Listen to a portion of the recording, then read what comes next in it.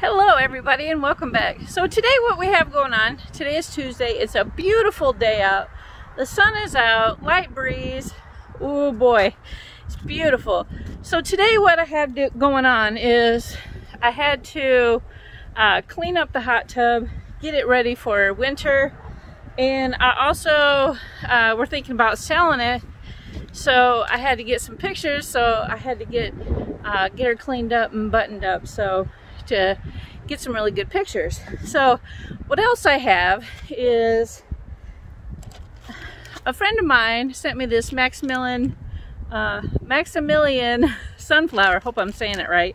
And I need to plant it because uh, she sent it to me a while ago and I've just been kind of keeping it on water. So we need to plant this baby. So let me turn this around and we'll get it planted.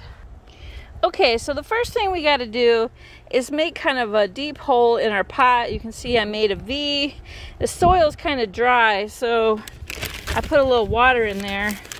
And we need to put our starts in there. You can see there's uh, some green ones on there. I hope I'm planting this in there properly.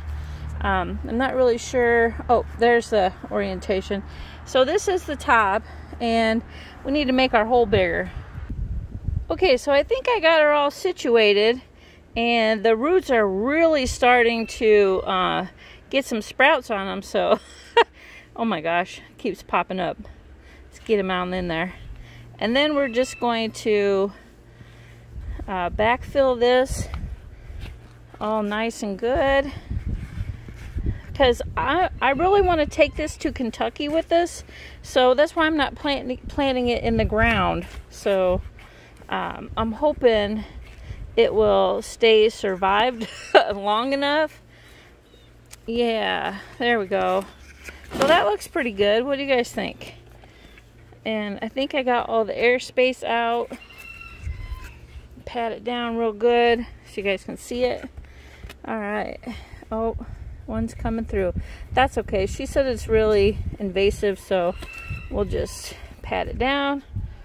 All right, and then next we'll give it some water here. Yeah, I know this soil's really dry. Make sure that we water really good. Get it all watered up. Just gonna need it. And that'll take out all the, um, if there's any space between the roots from dirt. We don't want any air because we don't want any um, pest or, or anything getting to our roots. So that's one good way to get all the air out. Give it a nice watering. Okay, we got her all in there. That looks pretty good. And uh, next, what I have to do is we need to water our beets. Now I know I haven't uncovered them fully um, in a couple of days. So you guys are in for a treat because they're getting big. Okay guys, so check these babies out. They're getting really big. They're doing very well. And they're actually not spaced out too bad. So I think we'll do we'll do all right.